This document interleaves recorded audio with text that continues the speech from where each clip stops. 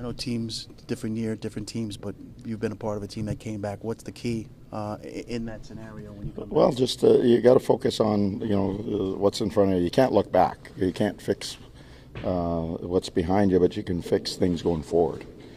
And uh, we get an opportunity to start fixing it, you know, in Carolina. It would be uh, they got. It looks like they have a great atmosphere. They're playing well, and we're going to have to go in there and win a hockey game. Plain and simple. How meaningful is it the success you've enjoyed during the year on the road and the fact that you're two for two on the road in the playoffs? Well, it, it, it doesn't hurt. I, I, think we're very comfortable on the road. Um, it hasn't bothered us at all. Uh, so, yeah, I, I think sometimes on the road you can get a little more focused. Uh, believe it or not, uh, you know, it's uh, you against the world. Uh, some teams are better that way. Some teams aren't. Uh, we've been, you know, pretty even kill all all year, home and home and, uh, and away, and uh, so we're going to go in there. We know we've got a big task in front of us, and it starts tomorrow night. Do you think you have to get back to the island of hockey of, of you know, controlling the puck, second chances? Well, yeah, you know, you got to give the uh, Carolina some credit. They've they they're a high pressure team. They've got. Uh, you know they, they've got a very mobile defense. They get on, on you, and it's uh, they can separate. They they swarm you. They, they, it's like we swarm people at times. So um, you know, we've got some some ideas that we want to implement a little bit, little subtle changes that hopefully will give us a little more, um, you know, a little more success. You know, for me, we've been a good five-on-five team all year. Uh, you know, uh, goals for and goals against. Uh, it's been really strong all year. We've got, of course, some goals. We've scored one goal in two games. That's not enough for us to, to beat good hockey teams at this this time of year. So, uh, chances we're getting chances, and uh, we, as I said, we've played well enough to um, maybe be up 2-0, but we've played poor enough to be down 2-0. So it's a fine line. I mean, we've had zero adversity through the playoffs. Uh, I, I, feel, you know, we've had a couple, you know, uh, in the first series they scored. Uh, we responded real quick. Um, as it goes on, you're going to have to go through go through some adversity if you're going to, uh, you know, go on in uh, and go deep in the playoffs. Every team has that that those moments where it uh, there's adversity, things don't go your way uh, you know, yeah, just like we had uh, the, fir- the first minute of the uh, third period, didn't go our way and and put us in a, a little bit of a bind. So um, at the same time, uh, it, sometimes you need a little bit of desperation uh, in your game, or you know, someone punch you in, a, in the nose a little bit to wake you up and uh, and get you a little bit mad. So I, I think we're a little bit angry and, and ready to go. So that might be a good sign for us. What's the confidence level of this group? This confident, it's it's pretty good. Uh, they all year, as I said to this group, this group has been resilient from. Uh, you don't get 103 points by not being resilient. We had a number of injuries too. We still have a lot of injuries as well, and we just keep sort of you know plodding along and doing our thing, and that's uh, that's the, there's a lot of trust in the group. But we need uh, for us to be successful against a good team like Carolina, we need you know 100% commitment right through the lineup, every player every situation. And if you do that, then you, you, you put yourself in a great chance to have success. If Dal Colle does go into the lineup, he hasn't been in for a while.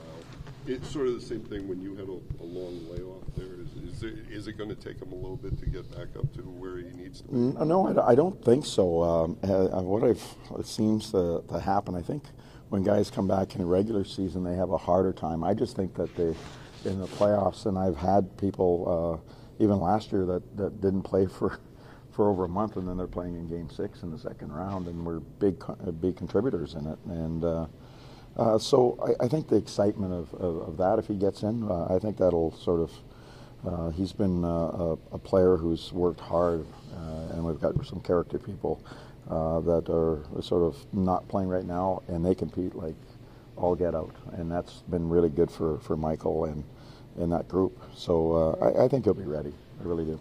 That brother was okay the end of the other game? Yeah, no, he was fine. He was fine. He was messing around again today, so throwing his weight around. Barry, you like to call the Cizikas line the identity line. So if Chow can't go, do you lose some of that identity? Well, I think uh, I think they're best when all three of them are together. Um, but I, I, whoever I put in there has to understand that uh, they, they do a good job of communicating. I don't know if it would be the same or not until you we, we do it. But we've had Cal out for a, a little bit this year, and we've put uh, different people there. So uh, we'll just see where we are tomorrow morning. Uh, but uh, Cal Cal is uh, you know, he's coming on a trip. He's, you know, he's doing what he needs to do, and we'll see where he is tomorrow, and then we'll make a decision. But uh, I, I think it, it'll be a little bit different. It has to be. They've played, I mean, so many minutes together. You guys could tell me how many minutes they played together as a group, and over the years, and it's a lot. Well, that's and, and they they know where they are instinctively.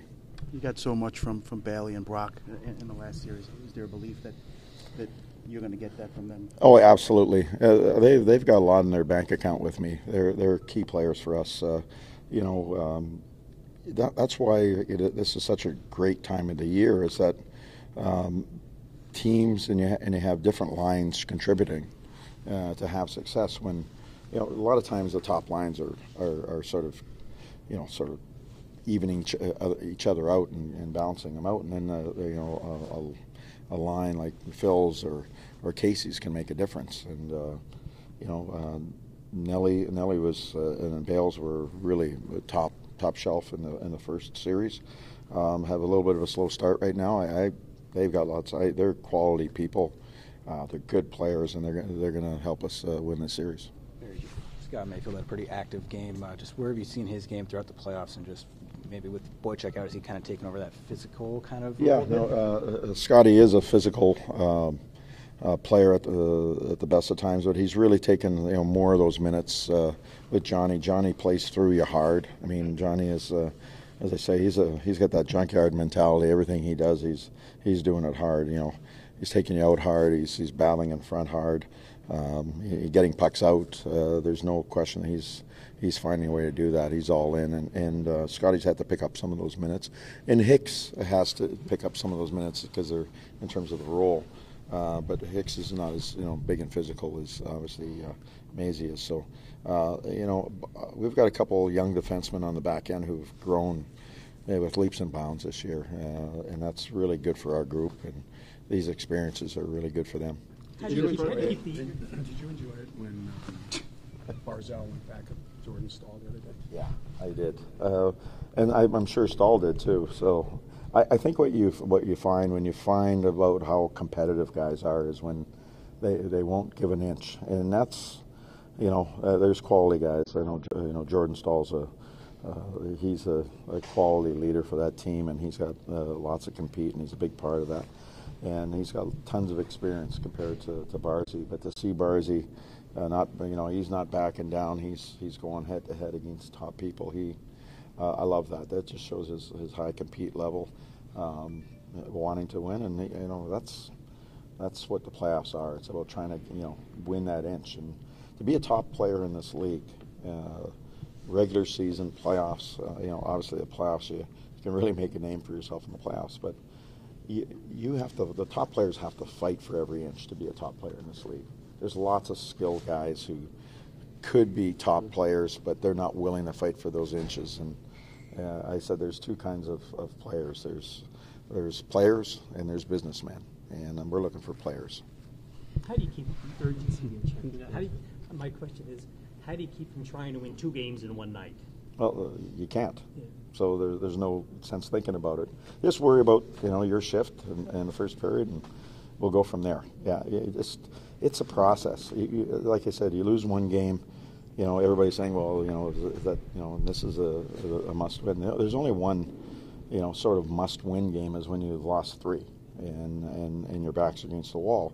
You always have a chance. Obviously, the odds are diminished. Obviously, the more that you dig yourself uh, deeper, um, but at the same time these games, if you start off poorly, and I, you know, uh, from my past experience, when you've dug yourself a little bit of a hole and you dig yourself out of that hole, tell you what, you become a pretty strong team, and and that's part of what you know, we've got to do. We've got to dig ourselves out of a hole here, and uh, let's get on even ground, and let's just, you know, then we can start, you know, punching straight up. But is there frustration because you've dug the hole and yet it's only one minute of one game and an overtime goal in another game? Is, well, there's does there, luck have to even out? Well, I, it never. It, I always say there's hockey gods. If you keep doing the right things, they usually even it out. Um, sometimes they're they're mean and uh, you can't understand it, but they're getting you ready for the uh, hopefully a future success. So. Um, yeah, I, I just think you've got to just keep believing, keep doing the right things, and keep keep the process going because uh, when you start getting away from everything that you do well, then you get nothing accomplished. And then, uh, you know, uh, don't ma- mistake activity for achievement sometimes. You know, uh, you make sure that you're doing your job, you're doing it well, you're doing your details. We, we get our structure, we, we're in people's faces, we're going to the hard areas, we're winning our battles and our races. And if we do all that, then if we do it over and over and over and over again, then we hopefully will have some success. And, you know, we had a ton of chances uh, in, in uh, last game. And, yeah, if it was, if we, if you get games on, on chances and shots, then then we won't need that that the scoreboard. And there's only the one thing that matters is how many goals you get, and we haven't scored enough for for Robin. I mean, we've given up three goals in two games, and we're down 0-2, and um, that's that's just reality. We've got to score some goals and maintain our identity as a good def- defensive team.